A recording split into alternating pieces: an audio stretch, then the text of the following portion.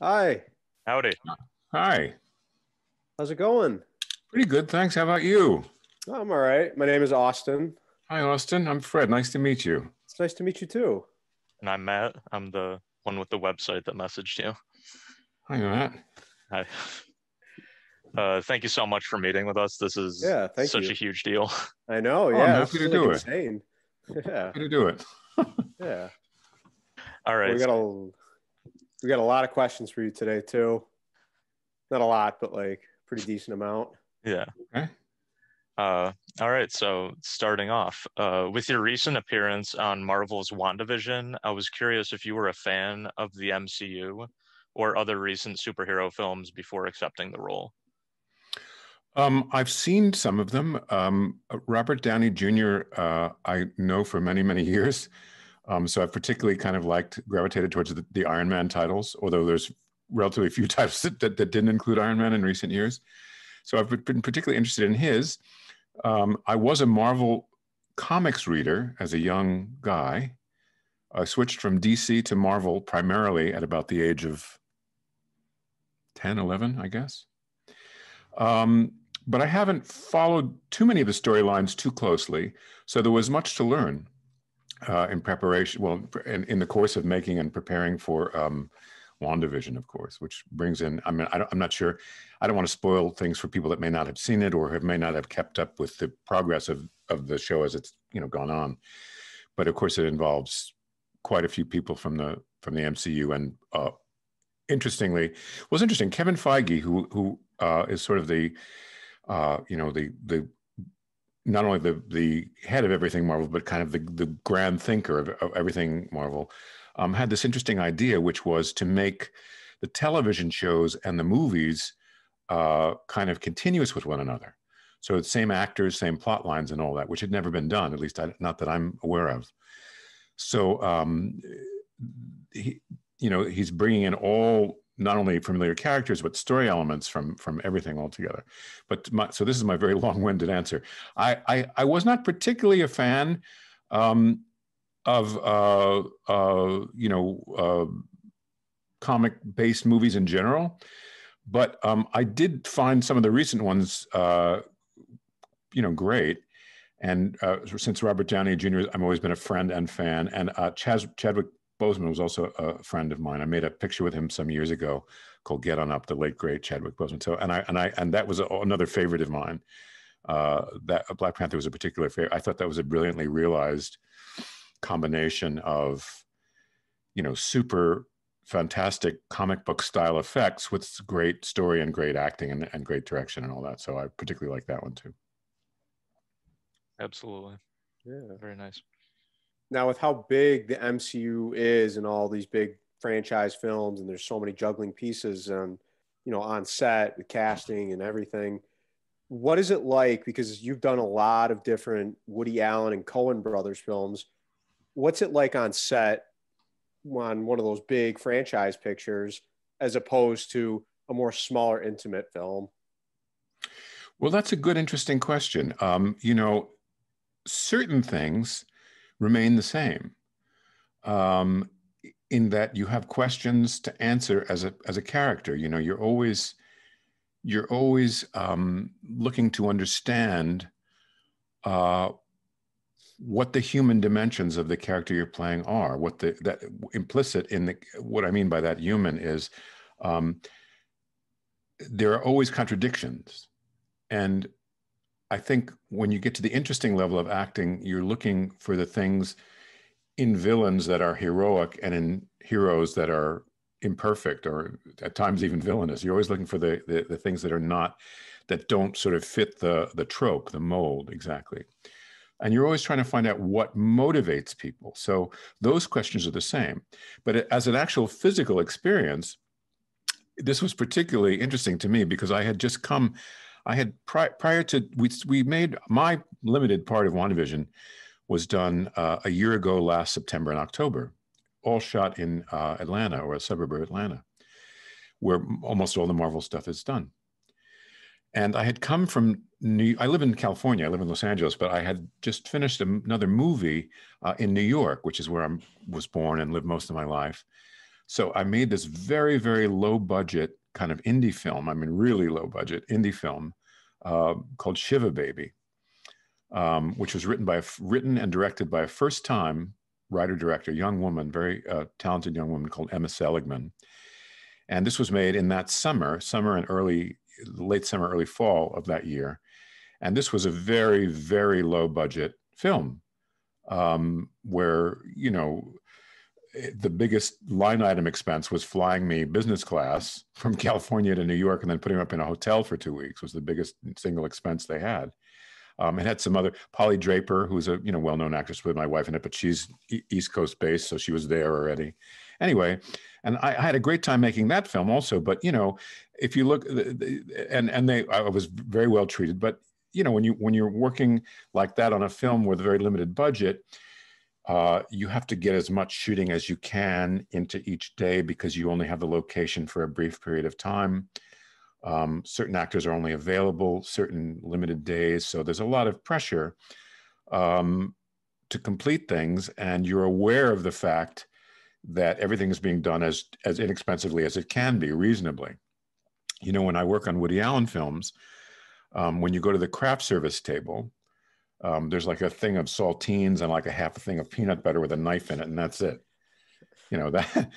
um, when when I got to Atlanta uh, to work on uh, to, to, work within the MCU, um, the amount of money that is spent on everything, um, and it shows. I don't mean that they're wasting money. I mean you see it up on every frame of the of the show has it in it. You see it, but I mean the set the sets were fantastic. And you know of the particular show that i'm mostly in a particular um, uh, uh, episode that i'm mostly in was shot in front of a studio audience as it says actually was. So there was a big bleacher in this on this enormous stage. And the sets are you know beautifully made and all the clothes were fantastic handmade you know uh, italian you know beautiful shoes everything you know and and uh, Jess Hall, the cinematographer, you know, uh, uh, uh, there's all there's things that required uh, process shots. So another thing that that's different is when you work on a movie that's a superhero movie, even though our thing was based primarily on um, uh, sitcoms that didn't have a lot of high tech um, appurtenances to to go to. Um, there's still a certain amount of stuff that's technologically very advanced that we're shooting it because we're shooting it now. So you may have to act uh, in front of a green screen. You may have to act pretending something is there that you don't really see that's going to be added in later. Um, things like that that are that make superhero movies uh, different than other other genres of movies because so much is added uh, in post production using computers and other things. Um, so that's also a difference. But as an actor, um, you're always um, asking yourself, um, how, what would a person really do in this situation, and why? If the person is making this decision that I don't in, initially understand, how can I make that seem real? Like the person actually came to that. One of the things that's so fascinating about acting is, to me anyway, is that it's all about human beings. It's all about people. And people are capable of telling themselves almost anything you know black is white. People people justify their actions uh, with incredible alacrity and incredible depth you know? So so you're always looking to do that. And also i as a, I have a sort of an overarching goal as an actor which is that i'm always trying to haunt the audience. That's always my goal uh, you know, when you see something really good, any piece of artwork, uh, you know, it could be a movie or a television show or a painting or anything, something about it insinuates itself in your mind somewhere between your consciousness and maybe your unconsciousness, and it kind of rattles around in there. And if I see something good or partake of something good or read something good, it sticks in my mind. Something about it sticks in my mind and that's what that's how i know something is good. I know exactly what you mean honestly. I really i can't even describe to you how many times i've watched because film is a huge part of my life. Acting is honestly you know one of my personal passions. I can't tell you how much watching a great actor has affected me since i was a little kid and still sticks with me from now, even back when like, you know, I was a little kid watching little Disney movies. And to this very day, it sticks with you. And I think that was pretty great of you to say, honestly. Well, that's, I mean, everybody comes to it as an audience member initially. When I was a little kid, I, all my life up to the present, I've always had trouble sleeping. I've never been a good sleeper. I've always had a lot of insomnia and stuff like that. And when I was a young kid, when I couldn't sleep, which was frequently, um, I used to have this sort of game that I played with myself, which was I had a I had a a bookshelf full of these kind of like adventure books that I like, like Tarzan and King Arthur and Robin Hood, stuff like that. And I would pretend that I had a show where I would take one of these books out of this, you know, bookcase and sit in my bed and just read it aloud as if as if I had a show where I was reading it to kids. You know, there was a guy on. This is eons ago. There's a guy on television called Andy Devine on the on, on Disney, the very early days of Disney, when Disney was black and white. And he used to have a show like this where he would read these stories and he would read them. And as he would read them, they would then become movies. But he would always start out with him kind of reading the story to you, and then it would transfer over to being an actual movie of whatever the whatever the book was, whatever the story was. So I would pretend uh, to do the same thing, and you know that's uh, gosh, uh, 55 years ago, more than that, and that's kind of what I do. That is actually wound up being not too different from what I actually do. Yeah, I like that. Yeah, it really does. Like you said, even to this day, it still kind of sticks with you. Yeah, there's nothing. I mean, when you when you, I, I mean, I, I probably don't have to sell people on watching movies or television. They probably do it anyway. But um, uh, you know, it's uh, when something is really good, a piece of artwork is really good it does a number of things simultaneously. It entertains you. It takes you away from concerns, mundane concerns or troubling concerns. But at a different level, it also, as Shakespeare said, holds a mirror up to life. It shows you something about reality. It's funny. It, it, it's something that's not real that then shows you something that's true about reality. Um, in my view, there are three things that make a piece of artwork uh, great. There's a sort of a test. And the first step of the test is that whatever it is must strike you as true. You must see that thing and it must be true. And then the next step in the progress of the test is that it must surprise you. It must be surprising to you. And the third thing is, even though it surprises you, it must have its own internal logic, its own internal correctness. In other words, if it surprises you, but it's just chosen to be weird or to be quirky or to be interesting, so called, that doesn't work. It has to make sense within its own context. So I can think of many, many examples of this, but they're all so personal to me that they might not mean anything to else to, to, to somebody else. Um, I'll give you an example just for me. This is just in my own life. So you know the movie Godfather 2. I'm sure everybody Oh yeah. so Godfather, the Godfather movies, I've seen them 90 million times, like everybody else has. But still, if I happen to be watching television and one happens to come on television, I'll still watch it.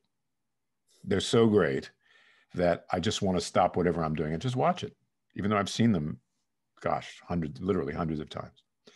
So in Godfather 2, which is uh, admittedly a great movie, there's a moment. This is not a very particularly meaningful moment, except it was to me.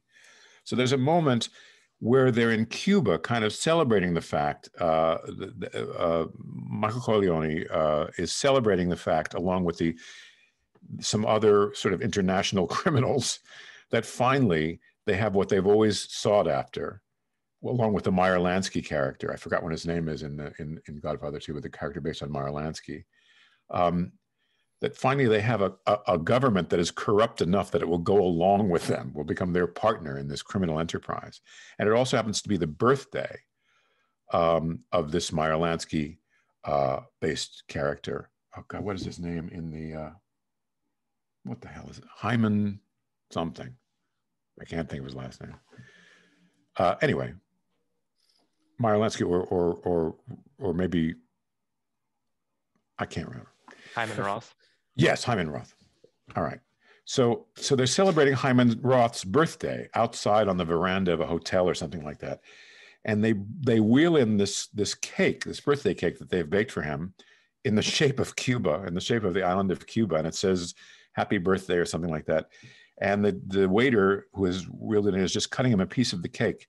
And he goes, and Hyman Roth character um, just goes, smaller piece, which is, it's so the opposite of what you expect a big criminal to do, you know, to be greedy, to want everything. And he's, he eats this little puny piece of cake, you know, because he's old and he has heart trouble and this and that.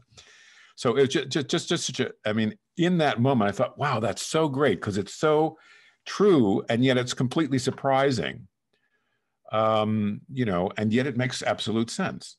Um, that movie is about thematically the fact that there are that that uh, people who are guilty of the most sort of horrific things from a social point of view still love their families and and are very much affected by their families.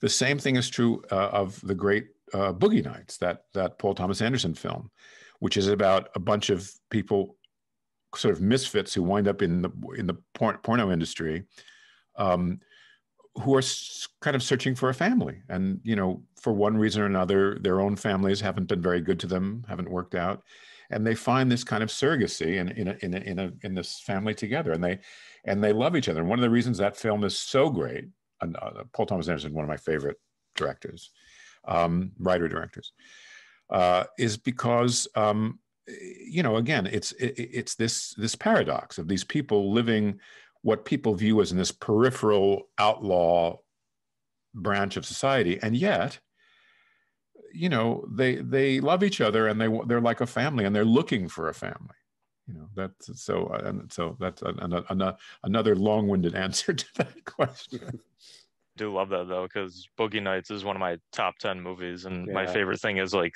the amber waves character and julianne yeah. moore is my favorite actress and she is yeah. like the mom all of them and it's so endearing and you got roller girl who's like the teenage daughter that doesn't know her place and of course dirk leaving his house it all meshes so well together it's the perfect like parallel yeah, beautifully written, beautifully directed, beautifully acted. Uh, you know, what can one can say? It's great. I, I it's a, that's another film I've seen ninety zillion times, and uh, you know, never never fails to uh, uh, you know astound me with how good it is. And so many actors in that film uh, who were not big stars at the time, uh, John C. Reilly, uh, Phil Hoffman, uh, you know, went on to become quite understandably, you know, fantastic icons and stars. Uh, Phil Hoffman, the late great Phil Hoffman, was my favorite actor of his generation, which is kind of a half a generation below mine. But you know, um, I absolutely love him. I love John C. Reilly. Um, I love Julianne Moore. I, I, I used to live in Montauk, New York, which is a little uh, sort of hamlet on the very eastern tip of Long Island, and I lived there for years with my wife and kids and she has a house there. So I used to see her uh, with her kids in the playground there in Montauk, but I, I don't know her. Never, never actually uh, uh, worked with her or anything. But she was for years. She was married to a guy that I went to drama school with. But that was her last. It was a previous marriage and a previous life. So anyway. Yeah. And going off that, now you have a character in the same universe as John C. Reilly and Don Cheadle from Boogie Nights. So that's got to be incredible. Yes, and uh, Don Cheadle is actually a friend of mine. I did a show with him, a TV show that was his TV show. I've actually done two, but he had a show on uh, for about five, four or five years uh, on Showtime. Oh, um, House of uh, Lies. House, House yeah, of Lies, yeah. which I was on. Uh, so I get to be uh, friends with him. He's a great, great guy and wonderful actor, as as, as uh, you know, as everybody knows. Mm-hmm. Um, so yeah, I'm, and I'm very pleased to to be back in the, the very sizable mar- Marvel MC yeah. fold, you know, again. That's got to be awesome. Yeah. It is. Uh, going off of uh, you were saying Paul Thomas Anderson is one of your favorite directors. I was wondering, do you have other particular directors that you would want to work with again as soon as possible, or possibly oh, directors you haven't worked with that you'd love There's, to work with? There are a bunch of both. there are a bunch of both. Um, I had a very heartbreaking uh, thing recently uh, with David O. Russell uh, because uh, I'm I'm at high risk for COVID complications because of some pre-existing conditions I have. So I haven't worked much except I have a little home studio that I do like animation stuff out of or voice stuff out of. But since March, since last March, I haven't done any uh, uh, acting of the of the full body type uh, at all. So it's been almost a year for me. It's been a long time. Um, and I recently had to turn down a bunch of things that I really, really wanted to do.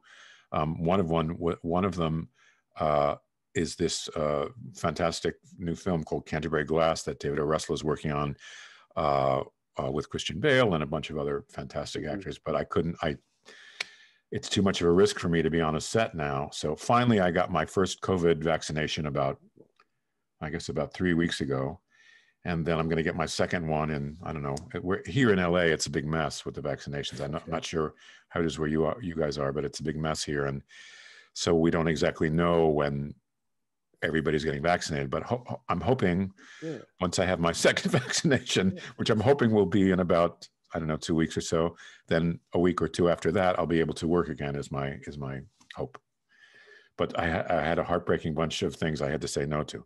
So other directors that I love, writer directors or directors, well, I love the Coens. I've worked with them a bunch of times, but I, I uh, love them. I love them as filmmakers and people. You know, I, am lucky to call them my friends, uh, uh, and you know, think they're terrific. Um, they're. I don't love every film they make, but I don't love every film that all my favorite directors make. One of the things about making great films is there's always a certain amount of leap in making something great. There's always a certain element of chance taking when to, among the really great, at least in my view.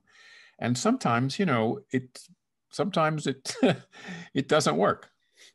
Um, you know, uh, my very favorite directors. Uh, this is true with Martin Scorsese. You know, and I love many of his films, but a couple of his films I can't. A couple of the Coen Brothers films I really can't look at at all. Um, uh, but that's part of being great. You don't bat a thousand, you know, because you take these risks. Um, Paul Thomas Anderson, uh, to, never worked with, would lo- try, tried to get in to, uh, on several occasions to various films of his, have not succeeded yet. We'll see. Uh, maybe I will someday. I hope so. Um, I love Alexander Payne's work. I think he's terrific. Uh, never have worked with him. Would love to work with him. There's a, a, a writer director that I have worked with a bunch of times who I love called Craig Zahler, S. Craig Zahler um, who, who, you may be familiar with. I don't know. Uh, we've done three, four? No, we've done three pictures together, and we're about to, not about to do, but we have a fourth plan for this year if, uh, you know, the business kind of gets back to where it was. Um, a fascinating new one. He's a really interesting writer director. He's also a super talented guy. He's he writes novels. He's also a, a, a fantastic musician and writes most of the scores for his own um, movies. He's very, very kind of unique guy. Writes very.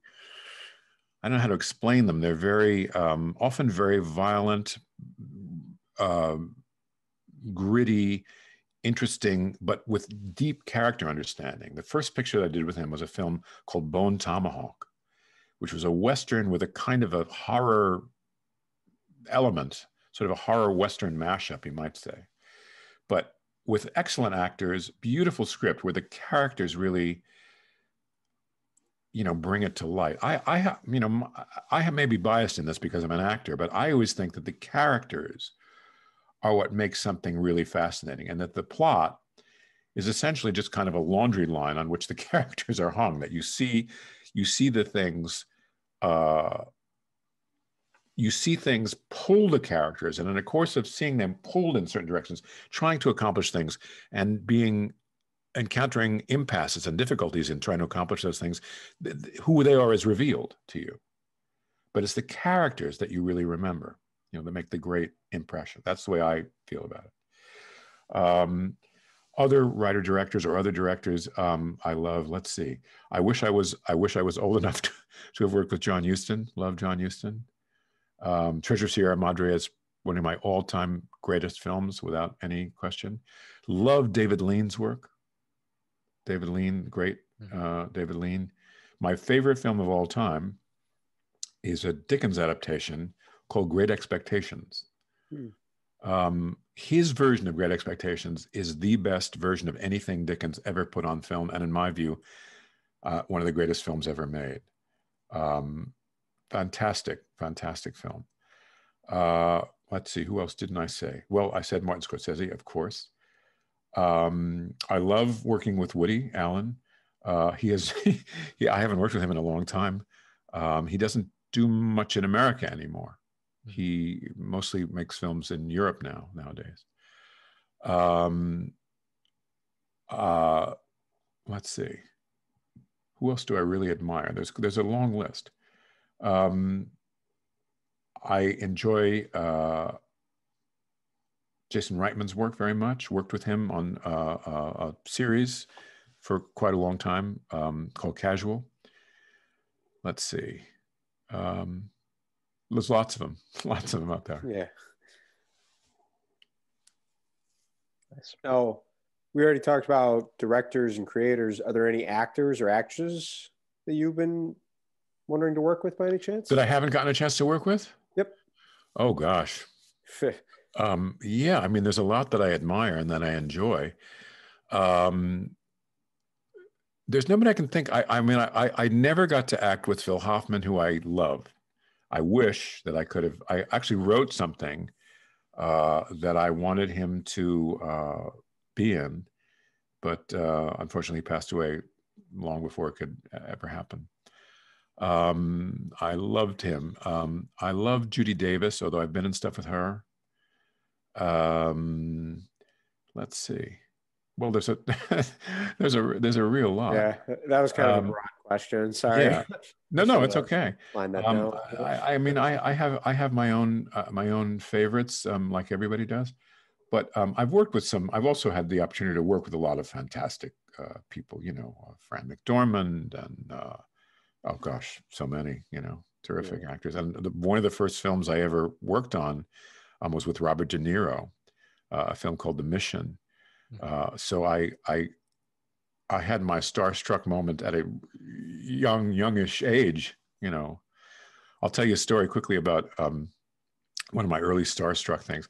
The very first movie that I did um, was a movie called Lovesick uh, with Dudley Moore. This is, I'm guessing, 1983, 80, something like that. I, I got out of drama school in 81. It wasn't long after I got out of drama school. So um, in that movie, I had a very small part. I played a psychiatrist. And it was a movie about a psychiatrist and his circle, circle of friends who are mostly psychiatrists. And he falls in love with a woman who's a patient, played by Elizabeth McGovern. So uh, during the course of that movie, um, uh, th- th- there's a Sigmund Freud appears as a character in that movie, uh, played by Sir Alec Guinness. And Alec Guinness was one of my big acting uh, idols. So I was thrilled that this very first movie that I was ever in, I got to be in a movie with Alec Guinness. And I and one day at the end of working, it was kind of a long day of shooting on a location uh, in New York.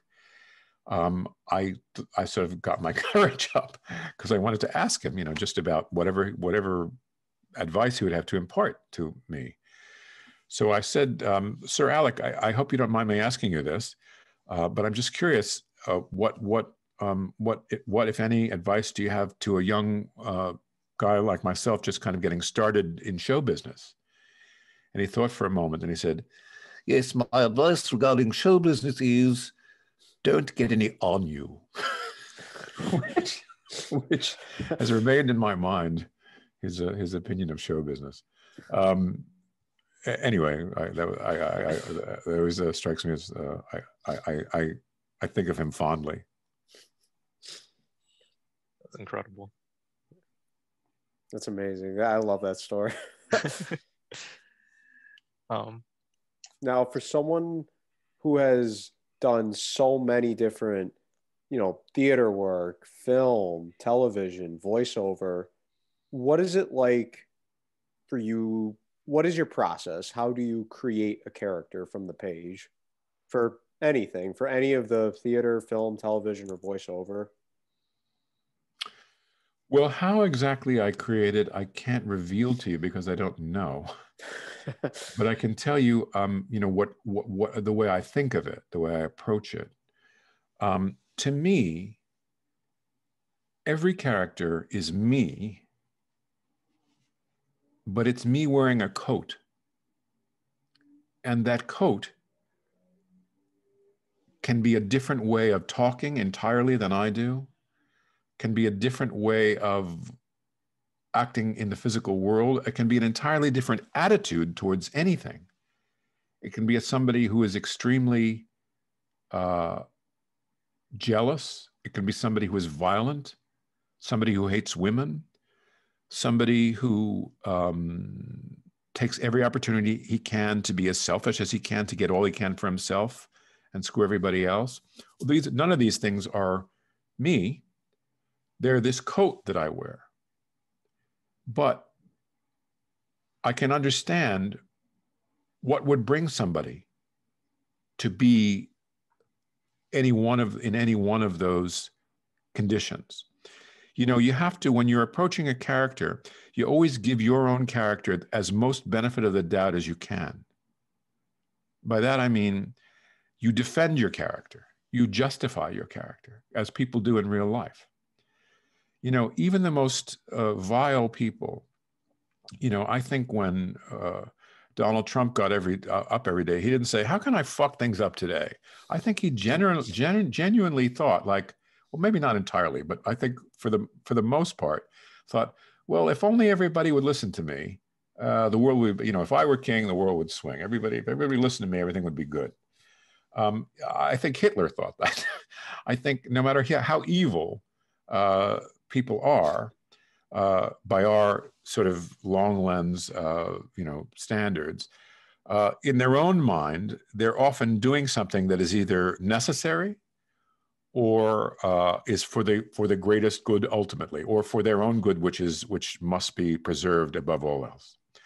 So when I look at a character, I always try and make the character as smart as I can, give, unless he, unless the limitations are very obvious, to his intelligence um, and make him as justified in his own mind as I can, because that's the way people actually are.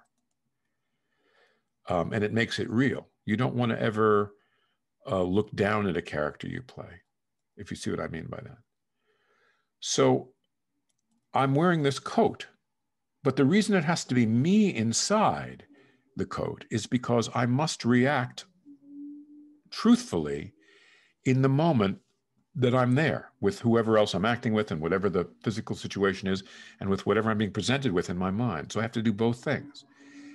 It's me underneath, but it's not me because this character can be a murderer, could be a milk toast, can be in a wheelchair, could be so selfish that he can't allow his own daughter to succeed in his business, as the character that I played was in um, in a world like Bell's film.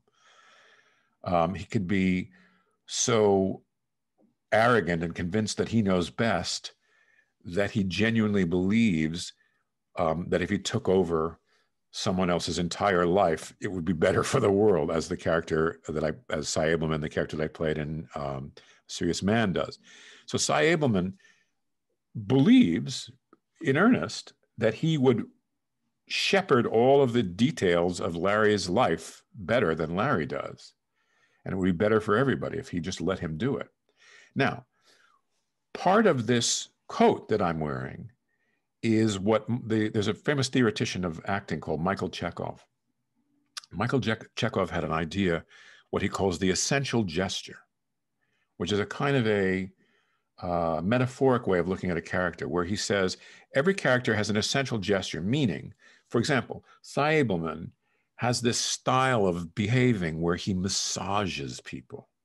His voice, his manner, his calming efforts, the whole, everything he does is a massage. It's to put people into this kind of state where they don't defend themselves. Um, that's just his way. That's the way he accomplishes things in the world. So his essential gesture, as I'm looking at it as an actor, is that he massages. That's what he does in every situation. He tries to massage. So essential gestures can be anything that works for you uh, as an actor. Um, but so that way of thinking about it helps.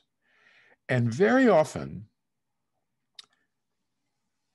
when you're discovering what the subtext is as you act the scene, the places where the essential gesture doesn't fit easily, where it's where it's awkward, are places where great light is shed as you as you pursue it. So you have to do two things as an actor simultaneously. You have to have something prepared in your mind about how you want the character to behave. You have to know what you want to do with the character and know what you want to accomplish in the scene. And at the same time, you must also respond as earnestly, as honestly as you can to whatever you're actually getting from the other people and from the situation. You have to do both things. Now, this is why it's necessary to prepare. You know, it's not a good idea, in my experience, to, for example, come in kind of knowing your lines and think, well, I'll just be, I'll just wing it. I'll kind of be more spontaneous. Because what winds up happening is so much of your mind, so much of your energy is uh, consumed struggling for what comes next that you don't have very much freedom of interpretation. I want to know the lines well enough, if, if at all possible, that I can just reel them off without any meaning. So that when the time comes, I have more freedom to respond to the reality of the situation. I'm not just doing my line readings that I've memorized.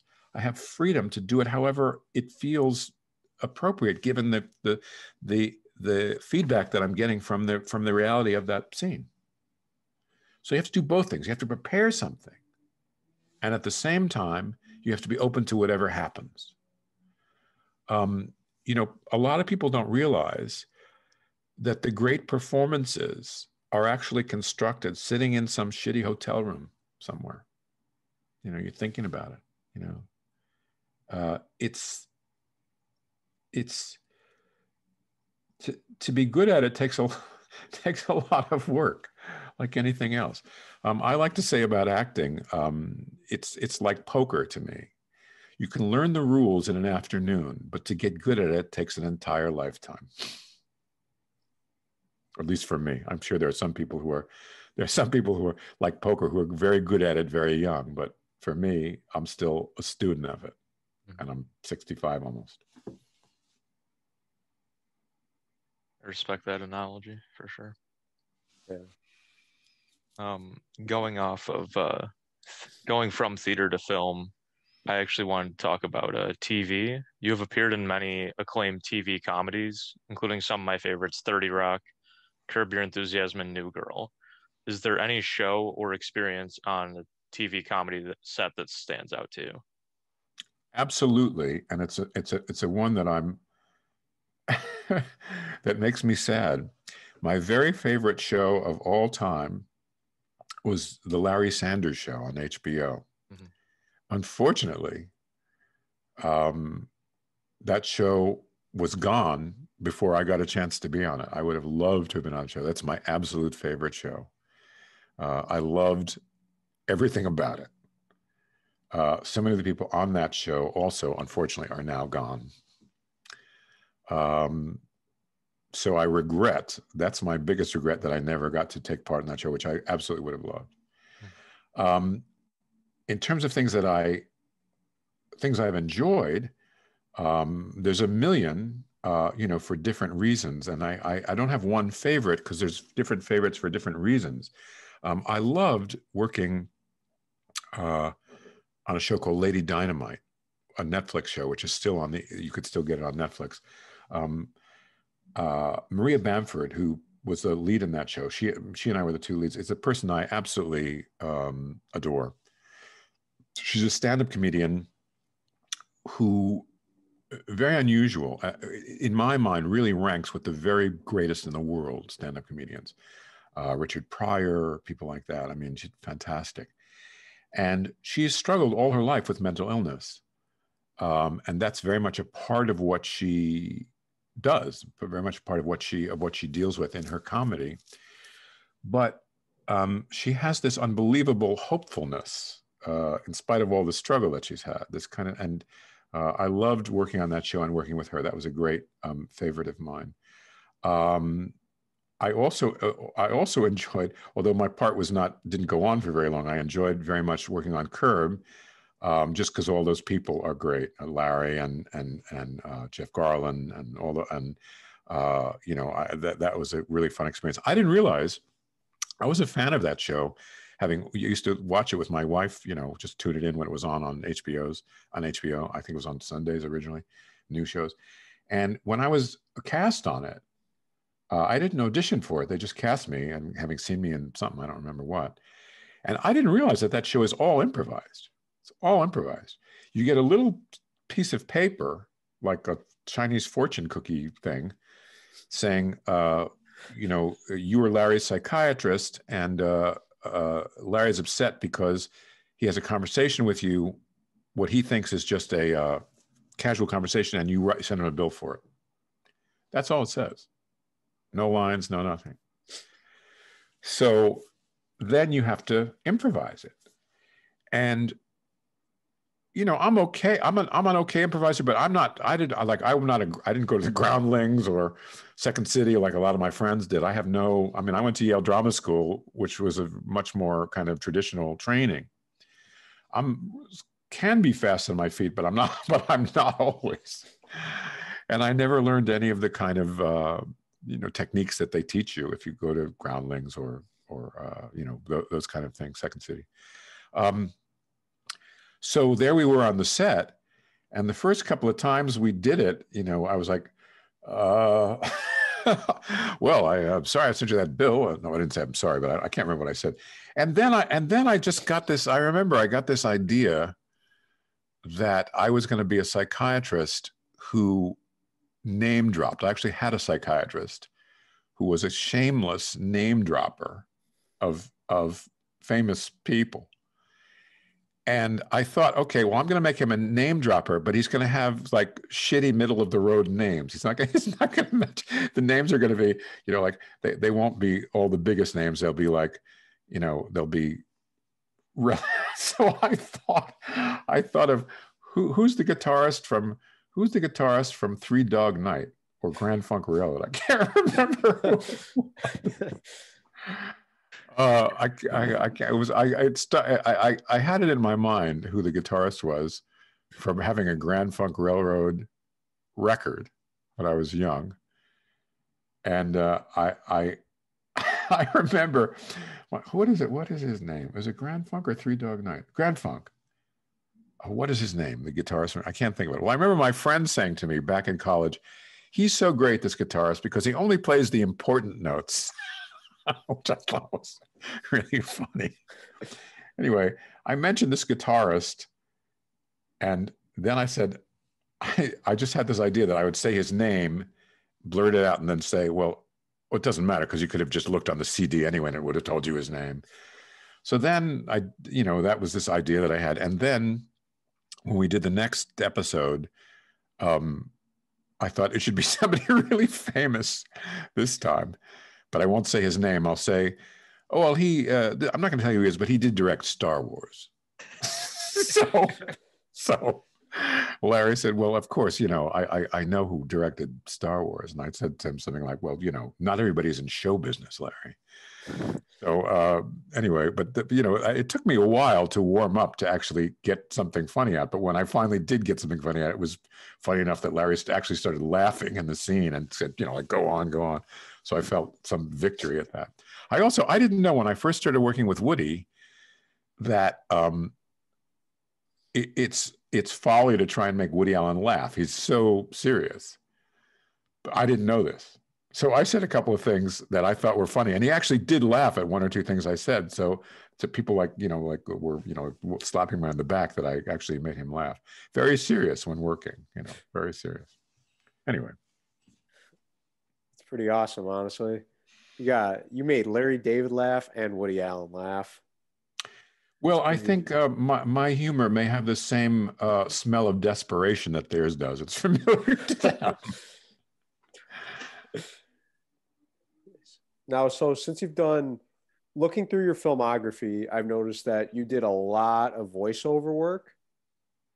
What is that kind of like? Is that a little bit more different for you? You know, obviously than working on a set, but in terms of how you approach the character, you know, even if you're doing just a you know little voiceover work, how is that like for you to approach a character in that? Well, um, in a sense, for me, I find it harder to keep it real. Um, you know, if you're working in the voiceover milieu, you have to put everything into your voice. You don't have anything but your voice. Um, and one of the things that's great about it, that's freeing about it, is you can be anything. You know, in if I'm cast in a film, uh, you know, I'm unlikely to be a romantic hero or something like that. Um, whereas in the voice world, I might play that, or I might play somebody you know, a villainous character. I can play a lot of different things, um, but you're much less restricted uh, based on your voice. And you must put everything into what into that that is the character into that voice. Um, you're still trying to be real, and you're still trying to react in the moment as as real as really as truthfully as you can. Um, but it's much more limited, and it's much easier from a sort of a uh, practical point of view. You know you don't you don't you don't have to arrive early. You don't have a wardrobe. You don't have makeup. It doesn't matter what you look like particularly um, so that make, makes it easier. It's much and i did a lot of it for years. Um, that was all i did for like 20 years. Uh, and it's for me in those days it was very easy money relative to other things. When i did voiceovers when i was a big guy in the voiceover world it was a much smaller uh, sort of coterie of people that did you know 90% of the work that it is now. And it was also all union.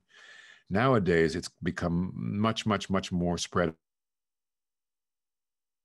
out much more diluted um, and uh, also uh, it's largely non-union now which is unfortunate although it's, let, it's it's allowed many people to get into it and i think they appreciate the fact that they've gotten into it because they're non-union um, it's made uh, the general standard of pay and of other considerations much lower. Um, there are no residuals for people that do non-union work or not much residual. Uh, rates are lower and, and the fact that there's so, such broad competition now, the, the, technology has changed. You know, now uh, the technology is inexpensive and ubiquitous. You can do a home studio from anywhere in the country or anywhere in the world and uh, you can compete. Um, so that has brought millions of people into it. Well, not millions, but certainly hundreds of thousands. Um, but the downside is that the uh, the rewards have become much much more limited uh, than they were. Um, as an art form, it's an interesting art form, but it, it is very limited. It is very very limited. I I, I find um, acting with my whole self much more deeply fulfilling uh, because my whole body and my whole intention is in it. One of the things that's so great about acting to me is, I think one of the reasons that I love it is um, it's so consuming that I can't think about anything else when I'm doing it and when I'm preparing to do it. It has that in common with uh, with gambling, which I mentioned. Um, I can't, th- you know, I, I I'm not a compulsive gambler, but I understand how people are because when you're doing it, your mind really becomes entirely focused on it and nothing else. And same thing is true with acting for me. So I enjoy that level of immersion in something. And you work with other people, and it's kind of strange. You know, you you you you have, you know, you might work on a film for a month or two months or sometimes a week, depending. Maybe you have a smaller part or a couple of days. So you're th- because of the nature of filmmaking, it's because it's intense work and you spend long hours together, you develop these friendships. You know, you talk about things, you talk about life, you talk about directors that you work with, you talk about It's just natural because you spend hours and hours and hours together. And then some of those friendships last and some of them don't. Some of them, you know, are based more on uh, uh, the uh, the reality of that particular situation, but some last. Uh, and but I, I one of the things that I find great about filmmaking is that you are thrown together with different people.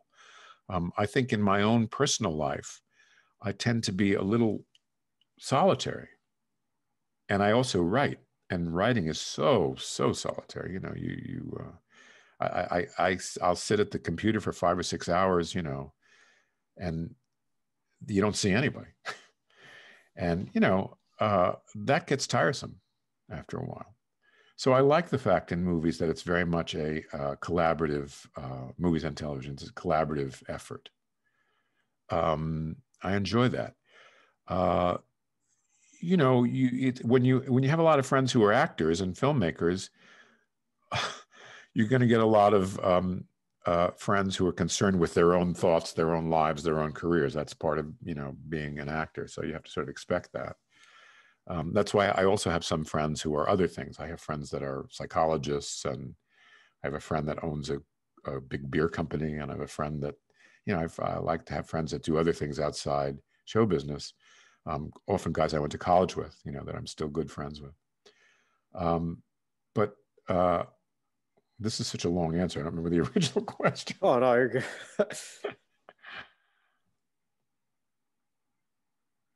anyway, and uh, I'll t- let me tell you my. Let me tell you, we have to. Oh no, we we have a time. I want to tell you my favorite story about directing. My very favorite story. Is that all right?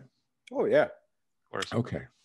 So this this story was I heard from James Gray, the director. I don't know if you know James Gray. Um, is, very interesting director. Is that the? uh Did he make Ad Astra and? Yes. Right. Yeah, yeah, yeah, yeah. I love that. Oh my god, I love the Ad Astra, Lost City of Z.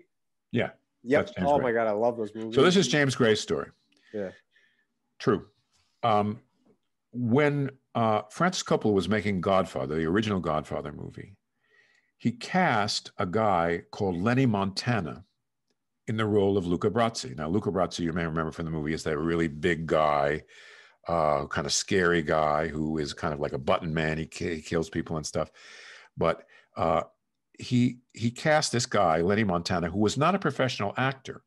He had been a well-known wrestler, professional wrestler but he was and he was very intimidating looking very large but also he had this particular ability which was he could make his eyes kind of bulge out pop out. And if you remember in that movie there's a scene in which he is garroted. He goes he pretends that he's uh, sort of a turncoat on the on the corleone family and he goes to another family and they they goes to a bar and they stick a knife through his hand so he can't move and they put a garrote around his neck and choke him to death. So he could do that particularly convincingly because he could make his eyes bulge out so France and Francis liked him, and so he hired him. But he was very nervous, um, Lenny Montana, acting, very. And the very first day of shooting was the opening of the movie, The Wedding of Connie in that uh, in The Godfather, which was an enormous scene with 200 extras and musicians and all that stuff.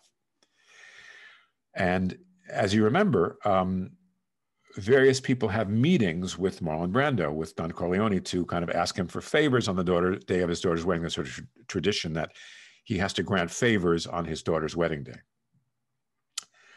So uh, there was a scene written for Lenny Montana for Luca Brasi to come in and say, "I want to thank you, Godfather, for the honor of inviting me." To your daughter's wedding on this most fateful day, or something like that. I don't remember what the lines were, but something like that. So he was supposed to do this line. And Marlon Brando was being Marlon Brando and he was not very helpful. He was kind of being an asshole and he was making fun of him and making jokes and stuff. And you know, when you have 200 extras waiting, it's very expensive. And and and Lenny Montana was getting upset because he he kept blowing this line. He couldn't get through the line. And Marlon Brando like put a sign on his head that said "fuck you" and like was not helping at all. And they kept doing it. They did like 50 takes and he couldn't do it. He kept saying, I, want to thank you, God, for the, for the great honor of inviting me to your daughter's wedding on the day of your daughter's wedding. he, couldn't get it right. So finally, Francis said, That's okay, we got it. So Robert Evans, the producer, said, What do you mean you got it? He never said it. And Francis Coppola said, No, no, we got it. We got it. It's fine. Robert Evans says, He never said it. How can you can't let him, you can't, you finish this scene. You got to do the scene. He said, It's fine. So in the next uh, few minutes when they were done, before the next setup, which was a big crowd scene,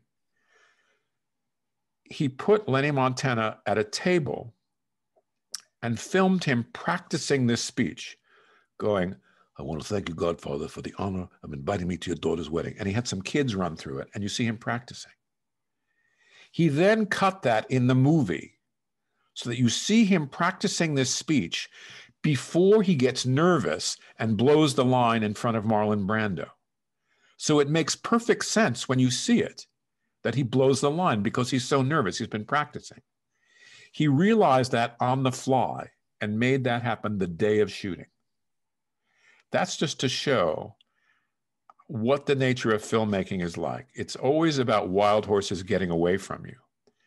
And it's always a series of problems to be solved. And I love that story because it just shows how he turned something that was a problem into a great illustrative moment for the character. I love that. That's I actually did not know that backstory. Yeah, That's I didn't incredible. know that either. That's incredible. Um, go, going off of uh, the voice acting, I was actually shocked to realize that you're in the GTA universe as Cris Formage. Yes. Were you a fan of the series before your first appearance in San Andreas, or have you become a fan since voicing the character? I have become a fan since voicing the character. I was not very up on the world of video games in general at that time. Um, I had I didn't have any console. You know, I have a computer, so I like some early computer games. I liked the early uh, iterations of Call of Duty before they got so fast that I can't possibly keep up. When they were sort of World War II based, was you know like, like when I liked them, and some other games. And I, I like some very old computer games, like really old stuff. Um, but I never had an Xbox or a, you know a, um, a PlayStation or any of that stuff. But I have a son who's 18 now, who did have all those things. You know, starting with a not a Game Boy, but he had a, th- a 3D F, what is it called? I can't think of it. One Oh, of those handheld things. Yeah. Yeah, and then he had a Wii, and now and then and, and, and now he's had like everything that exists. He has, you know, he's and and and we still play regularly. We we play together, and it's been great. Uh, I've really enjoyed it. You know, we've played all the great. What my, you know, we've played every um, all the uh, GTA games. We've played um, uh, all all the Rockstar titles basically that are great, and plus, plus a lot of others. Um, so I've I've become much more of a fan of uh, the form uh, through him, and have learned about it. Um, but at the time I did it, it was something entirely foreign to me. I just auditioned for it, and I got it, and that was it. That's awesome. Yeah, I've been a Rockstar fan since I was a little kid. Like, well, Max Payne is now Rockstar. Max Payne's my favorite video game, and I was raised on GTA. That was like a bonding thing for me and my dad. So realizing that you were in GTA 5 and San Andreas blew my mind. Well, you know, I, it was fascinating making it. I was in, we I did it in New York, and this was in the very very early days of motion capture when motion capture was still very primitive. Uh, you know, now so many titles are done that way, but when I did it, uh, you had to wear this um, like a halter kind of thing on your face, not a halter, I don't know, like a mask almost kind of thing. So it was quite cumbersome, and it was, you know, it felt it was hard to act uh, normally because it was big and heavy. Um, and uh, but you know, I did did the best I could. But Rockstar, even in those days, was already like it wasn't like doing a video game. It was like being in a movie. You know, I went to their they have a studio in New York, which was a vast studio and very technically, uh, you know, sophisticated. And this is I can't remember what year it was, but it was a long time ago. You know, when when when when the GTA series was just you know nascent. Um, so uh, I, I, it was very impressive, and you had to sign uh, a stack of you know non-disclosure things like uh, like a phone booth, uh, like a phone book, you know, really super thick, which for a video game was at that for my from my experience, was you know unheard of. So it was very clear that that Rockstar was into a, was in kind of a, you know a whole other category. And of course, you know when when GTA came out or, or when um, Five came out, it was, and I think probably up until Red Dead Two, I think was the biggest, fastest selling game of all time. It may still be. I don't remember. I forget what the what, but I I I liked. I, I we played both Red Dead titles, you know, with my son and, and love them. Great, you know.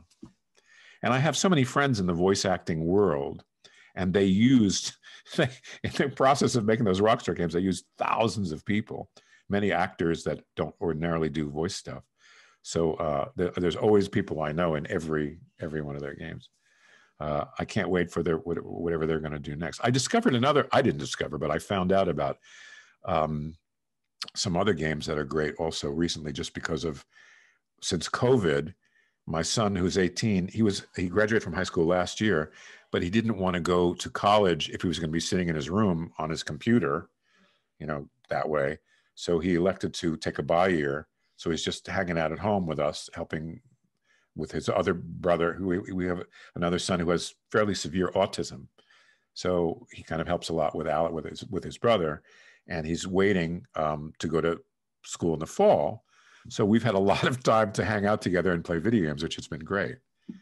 Um, and uh, you know, he's turned me on to a lot of interesting titles and stuff. Awesome.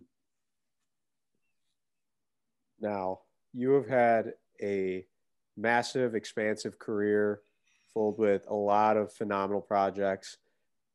But there's one character that really did seem to stick with a lot of people and has gained so much popularity, especially in these last few years. And I would say that that character would be Sy Ableman. Yes. Now, yes, yes. So you are you aware of just how much that that character has taken off in popularity and how people have really just connected with that character in the last few years, especially. I mean, A Serious Man was nominated for a lot of Oscars when it first came out, and you know, obviously everybody really loves it. I think it's probably one of the Coen brothers' best. It's one of my favorites personally that they've done. But the last few years, people have really, really connected with your character, Sy Ableman. Have you? Do you think that? that I, am interested to hear you say that. Do you think that you think they've connected with that character in particular more in recent years rather than when it first came out? Um, I would definitely say when it first came out too, but I think social media, last, yeah, and social media in the last year or two that film has taken off a little bit more again and your character is really connected. Your performance your character has connected with a lot of people out there. People i mean i can't go on twitter you know every few days and i'll see your character Sy Ableman pop up somebody will you know it's funny i don't do twitter at all i have an account but i've never used it yeah. but people always send me stuff like uh, people make memes and stuff which always yeah. i'm always amused to see but i don't i know about them like late because i don't do twitter yeah. But yeah, I, it's it, it, that's been interesting to me too. But I'm interested to hear you say that he's kind of taken on a life of his own. Yeah. Um, I you know I that I love that movie and I love that character and I love and the Coens are you know a big deal to me both because that role kind of put me on the map for a lot of people. You know, that made a lot of people know me. I was was shortlisted for an Oscar for it, and I won an Independent Spirit Award for it. It's a big deal, definitely. Um, but it, it's also kind of like my Mr. Spock character in that you know, I think a lot of people think of me that way and don't realize that I've done a million other things and other, you know, but uh, don't get me wrong, I'm extremely grateful and I still love that character, you know, and, uh, you know, you get a few characters in your life, if you're lucky, where the confluence of the writing and whatever you are just kind of bang up against each other in this magical way. And, you know you're great you're you're you're lucky if you get that. So that's definitely one of those situations for me. Um, I, somebody sent me once um, there was people doing uh, scene work where they called scenes from a serious man and they had scenes between uh, uh, Larry and Sy Ableman acted by compl- other, you know, uh, very different people from me and Michael Stuhlbarg. It's interesting to see other people do those scenes. I've seen black Sy Ablemans, I've seen Sy Ablemans, I've seen women Sy Ablemans, I've seen all kinds of interesting, different, you know, uh, Sy Ablemans. Um, yeah, I, I, I, I still love that movie and I still love that character. Um, occasionally, uh, you know, people, I'm familiar enough as a face that people recognize me, you know, in the street, but very often they don't know my name. They feel like Sy Ableman, you know, or something like that. I think a lot of that goes back to what you said before about how certain performances and certain art and media just really sticks with you. And I think in that case, that character and that film just stuck with a lot of people.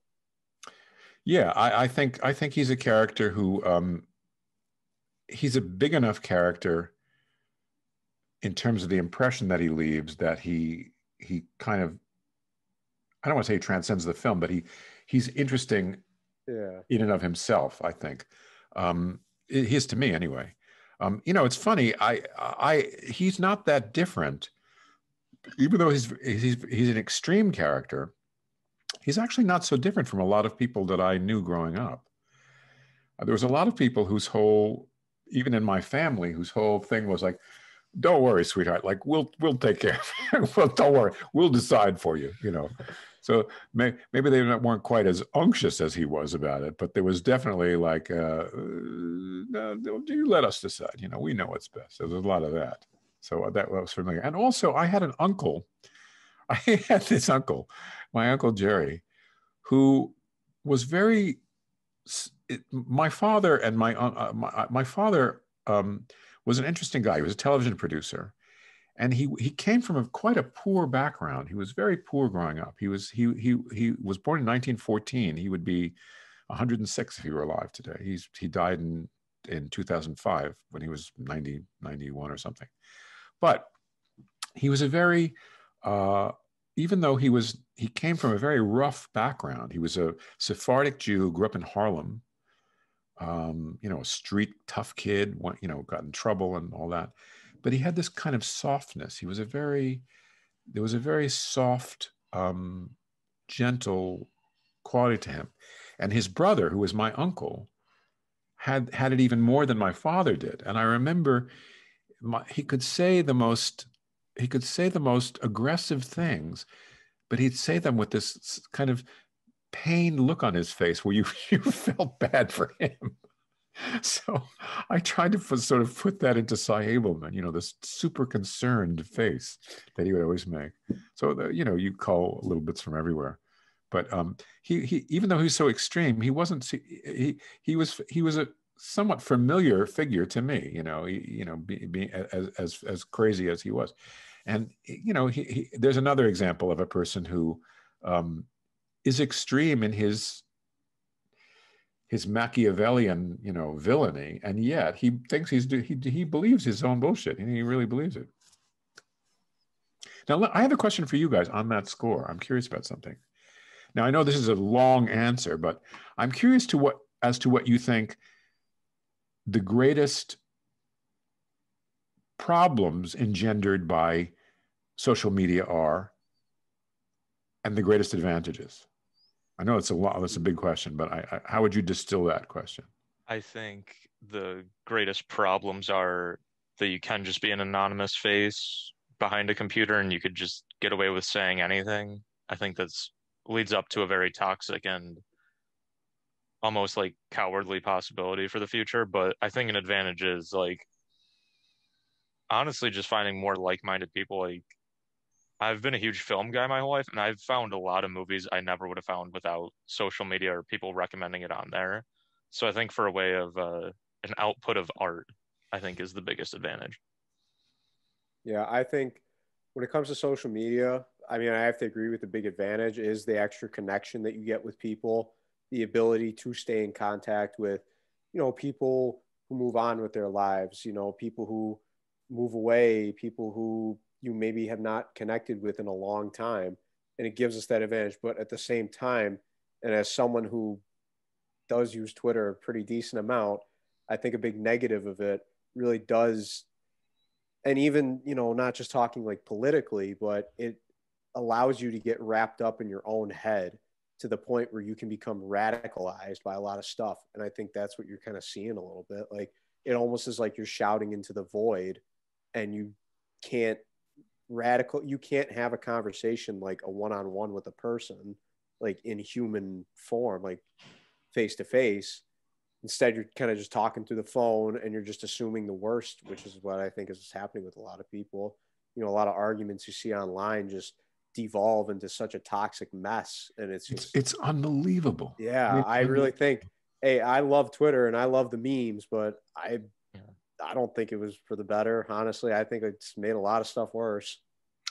Well, you know, I, one of the things about it that strikes me as so unfortunate is that it gives everybody a megaphone and people have lost the ability to discriminate or perhaps the desire to discriminate between who is worth listening to meaning who is whose intelligence or facts have been vetted people people believe that everything is just an opinion. Everything is just a point of view. You know that the new york times is no more trustworthy than say I don't know, you know, so, you know, uh, some kind of, you know, rag thing that some guy sits in his basement doing that, you know, it's, it's everybody has the right to say something and therefore all opinions are valid, that there's no such thing as an informed opinion. That, that really is troubling to me. Um, but I feel the same thing that you do, which is that as an instrument for education or finding out things, um, you know, it's great. And you do get to hang out with people that you otherwise wouldn't. I mean, I live in LA now, but mo- most of my friends still are back east and guys I went to college with, people that I miss, you know, all that. So that aspect of it's really nice.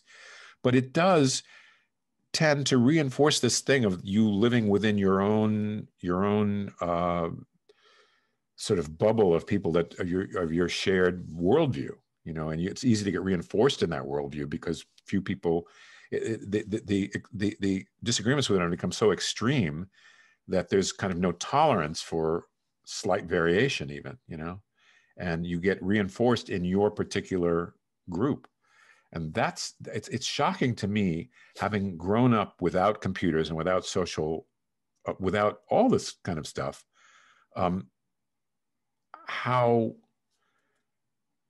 what bellicose you know kind of civil war rage there is going on, which is it for, to me has never existed within my lifetime before. I mean, until until social media, mm. how people are so convinced of whatever they're convinced of that they're not even willing to entertain the possibility of there being some degree of truth to opposing points of view. It, it, it has this kind of like dukes up, you know, all the time uh, posture instead of, you know, some degree of openness about things. So uh, that's my take on that. But it's, you know, that, well, the funny thing about it is there's no going back. It's like computers in general.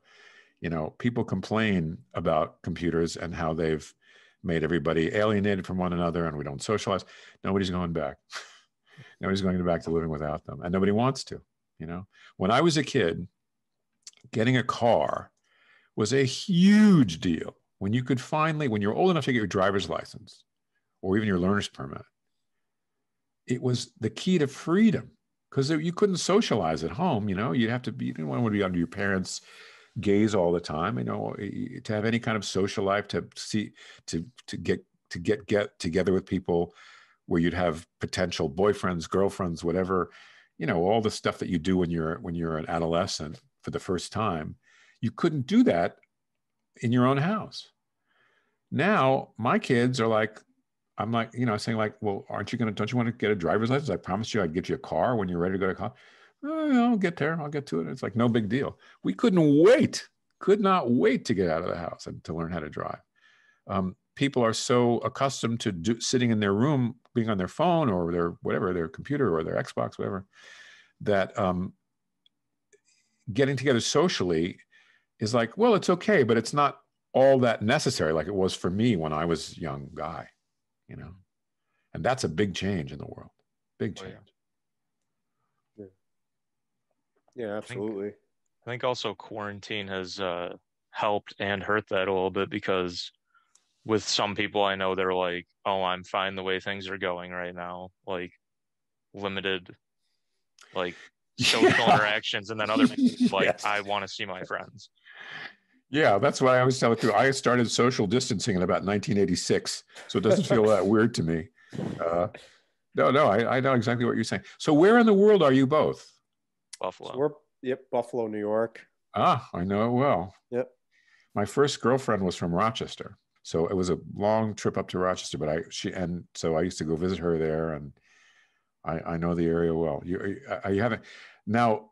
It must you you have lake effect snows and all that. Oh, it must be God. it must. I mean, this year must be really rough. It is Oh, a tough year. Get me started. It's been today. I woke up. I went outside. I was like, oh, I can't even do this today. How is it in LA? It's pretty nice. Well, I mean, it's it's uh LA is very pleasant to live in about six or seven months out of the year. Then it gets very hot. It's too hot for me. I don't I'm not good in heat. I never have been good in heat. Of course, New York gets hot too, but LA is the summer goes the, the warm you got five really warm months in LA. The rest of the year is very pleasant in LA weather-wise. Um, there are other aspects about LA that are, you know, you probably know about them. Um, there's two things in LA. There's only two things that matter. A is how sexually hot are you, and B is what are you working on. And nobody even pretends that anything. It's funny, like people may be equally shallow in other parts of the world, but for form's sake, you're supposed to kind of be interested in other things, you know, or at least appear to be. Here, it's like, well, of course. What else would be you interested in? Then, you know, what are you working on? How much money do you have? And are you hot? That's it. So once you are resigned to that fact, you know, once you see that that's how it all works, um, it's not bad at all. Um, COVID is been, has been a big nightmare here. Um, we did well at the beginning because we had a very early lockdown and people people sort of obeyed it and it was good at the beginning, but people tired of it quickly, and nobody was working. So every and this is this is a primarily showbiz driven place as big as it is. You know even if you're not in showbiz you're like the dentist of somebody who's in showbiz or the accountant of somebody who's in showbiz. And showbiz kind of ground to a halt because of covid. And they keep trying to get it back going again but they keep having to shut it down. Uh, and we have not had i mean i know this is true all over the country but we'd have a particularly bad time with the uh, vaccinations they were all scheduled and there's not enough i've had one and I'm supposed to have my second uh, in like two weeks, but I'm hoping and I'm hoping that it's available. Then they've not been available for a while. Um, so uh, and it, you know, I everybody I know has been affected pretty severely by the lockdown, uh, including me. Um, you know, psychologically, financially, a lot of I'm, I'm lucky in that I, you know, I've I can go for a while without working and I'm fine but a lot of people aren't in that position. So it's been rough for a lot of people. And it's tough on everybody emotionally. You know, nobody is used to spending all their time in the house, not seeing anybody else or very few people. So it's been hard for all. Um, and, you know, the more I read about it, it seems like um, there's light at the end of the tunnel, but it's not going to be the way it was for maybe quite a long time you know, uh, movie theaters and sporting events and things like that, and other things that we took for granted for, you know, most of my life, my entire life. Uh, it's a different world.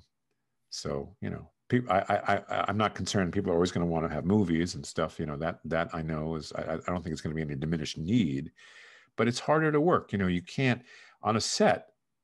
They keep the unions keep trying to make rules to make to make it safer but the problem is, you work very intimately with a lot of people. And, you know, all the crewmen go home. They have families, they have kids, they have wives, and it's very hard to not be exposed um, because everybody has a life, and, and then you and then you're getting together with them every day. So it's been, you know, very challenging. Are you in school? Are you between school, or what are you? Yeah, we both uh, just graduated actually last spring from Mhm. Fredonia, SUNY Mhm. Fredonia. Yeah, that was pretty nice. I mean, I feel bad for a lot of the kids personally. Me, you know, for this semester, last semester. I mean, me and him, we kind of got lucky because we only got like half a semester, and then we were all done. We didn't really have to deal with this too much when it came to college, but yeah, And that's Are why you I interested in grad school or not? I Uh, wanted to, but I didn't want to risk COVID. Like yeah, the honestly, same here. It's definitely something in the back of my mind that I definitely want to go for at some point. But yeah, I I kind of just wanted to hang out for just a little bit while longer before it gets a little safer. I completely understand. I'm thrilled that my son, uh, you know, decided to, uh, you know, take a year off. Uh, you know, and it's been great having him around. I'm enjoying him so much and everything. And it's pretty, it's still pretty wiggy out there as, as far as, far as I'm concerned. I mean, we'll see what happens by the fall. I, I you know, I've heard a lot of um, encouraging things, but we'll see. We'll have to see. Yeah. Yeah, I do think, I mean, I hope, I mean, I, I've been wrong about everything with COVID ever since March 2020. But What do you mean You've been wrong. You said this will be over in a week. yep, uh, I, yeah, I thought this was going to be over Easter 2020. Well, do you know like, "Oh, Dr. two Drew, weeks." Drew Pinsky? You know Dr. Drew? yeah. He's a friend of mine. oh, really? And yeah, and he was so yeah, he was. So, I David Alan Grier and I uh, went to drama school together. We're good friends, and we know each other for Christ forty five years. So, and he's friends with Drew, so he introduced me to Drew. So, uh, but he was, you know, he did go on record as saying some stupid fucking thing like, you know, this will don't worry, this is the flu, and it won't make any. And he was, you know, he's t- t- he he got really, you know, like dragged through the ringer Yeah. Because of it, and he's having to t- sort of apologize every day for it now Oh, God. but um, you know I, look it's easy to think that uh, it's easy to you know think that things were blown out of proportion a lot of things are but this was Yeah. No, this Some- is pretty scary stuff. yeah, definitely and and Yeah. nobody alive remembers anything like it Yeah. you know my dad when my, my dad is not alive but when he, he when he was like five years old was when the, the last time this happened 1918 Yeah. some, something similar to this. But in that one, uh, 50 million people died total. So far, we've had two and a half million people die all over the world, not in America, but all over the world. But one in five of them has been in America, in advanced America. You wouldn't think that we would have one in five people dead from that. Anyway, God willing, we'll be Yeah. through with this. Yeah. Hopefully soon. Yeah. So do you do you want to make movies? Is that what your interest is? Yep. yeah. Honestly, both of us are both really into film. We're just aspiring to get into it. I am aspiring to act personally. I'm aspiring I- to write. Yep. Well, um, I I they're great. They're as you know, um, they're tough. They're tough fields. Um, I'll tell you how they work, and so you'll know. This is particularly true about acting, but to some extent for writing also. It's like surfing. it's like surfing. I heard this said originally by who? I can't remember who, who I heard it from. Maybe Steven Bochco? I can't remember.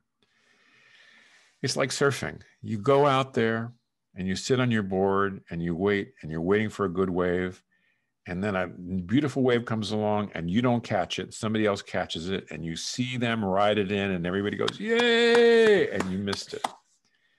And then you wait long enough and you get a wave and it's a good wave and you ride it and it's great and it's fantastic. And people are going, Yay, that's great. And then, of course, ultimately, you know, it hits the beach like all waves do. And then you got to turn back around and go back out there and paddle again and then sit there and wait for another wave. So you got to have the, you got to be ready in your mind to know that even for really successful people, that's how it works. It's you, you got to be ready for those times, those fallow times and times when you're waiting and all that stuff. The good things about it are great, but the hard things about it are very hard. And I say this as a person who's had unusual success. So, but it's it's it's it, when it when it when it goes good, it's great. It's it's it's there's nothing more enjoyable, and you know you get to do something that you really love, and if you're lucky, you make good money at it too. And it's fascinating. It's really fascinating, and it's always new because there's new stories, new people, new everything. So it never gets tiring, at least to me. But it's set up to keep people out. Show business is set up to keep people out. And you have to be, you have to work at being good. As Steve Martin said, you have to be so good that they cannot ignore you.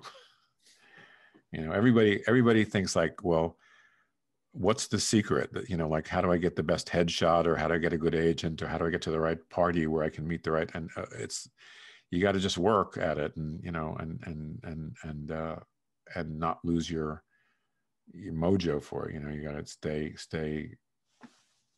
You know, keep your eyes on what you want but I wish you well in the in the process, and I'm anxious to hear how like what you're what you're what you're how it's going and what you what you're thinking. You know, like if you want to go to school more, or you want to just try and do it, and all that.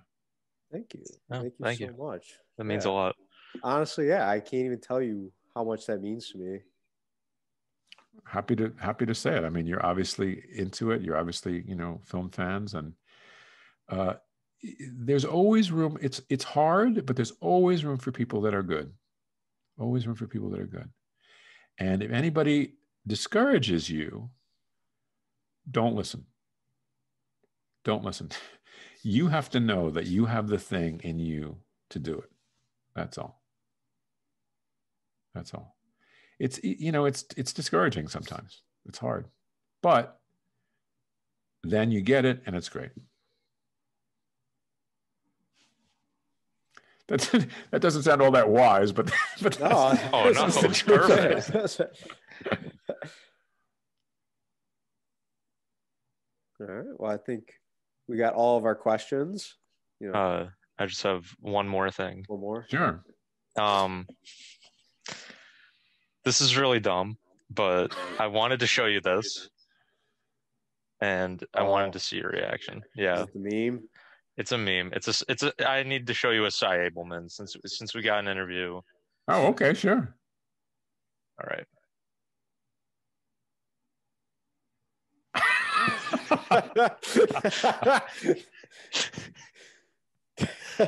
yeah, it works. Makes sense. All right. Austin sent me I that would, today. Yeah, Crack I me would up. watch that. Yeah. I'm a Joe Pesci fanatic. I I am down for a Yeah. recast. I love Joe Pesci too, but you know he hardly we works anymore. got- He had to like have his arm twisted to do uh The Irishman. He didn't want to do it. He's so rich now. He doesn't want. To, I don't blame him. He doesn't wanna- One of my favorite things before is uh, his Oscar acceptance speech. Oh yeah, yeah, Thank you. Thank you. he just walks off. I don't know why that like cracks me up so much. Yeah. No, I I I, I loved him, and you know he for years and years. He wasn't an actor. He he uh, played guitar in a duo with the guy who played Billy Batts, who died. The guy uh, I can't think of his name at the moment. The guy you know the guy who played Billy Batts in in uh, Goodfellas, Mhm. the guy that they kill. oh, Yeah, yeah, Shine yeah, Box. yeah, yeah. Yeah, gotta- I can't think. I can't think of his real name. Yeah, I can't think of his name. He was in a duo where they played in an Italian restaurant. They both played guitar and sang for like you know like three hundred dollars a week, really, uh, uh, for many many years. And then they and then they got back into acting. But I didn't know about him at all. I don't think anybody knew about him uh, until uh, Raging Bull. Mhm. You know when Raging Bull came out, which was I don't know, probably mid '80s, I guess. Yeah. Yeah. Anyway. All right. Well, it's been a pleasure. To, now, so what do you do with this? Do you edit it, and or what do you? Is it or? I'm We gonna just edit it and then Uh-huh. uh, put it on my website as well as YouTube, and I will send you a link to the website as soon as it's finished. All right. Great. Great. I look forward to it. Awesome. Thank you so much for talking to us. Yeah. It's my This pleasure. I really- really enjoyed it, and and uh, it's great to talk to you. And uh, you know, let me know how things are going, and uh, you know, when when this when this God willing when this thing ends, if you ever decide you want to come to LA, uh, let me know. By all Yeah. means. Absolutely. Awesome. Thank you so much. now. Oh, I would, I'd be Yeah. killing this in LA right now. I gotta go shovel my car off. oh. All right. Well, have a good rest of the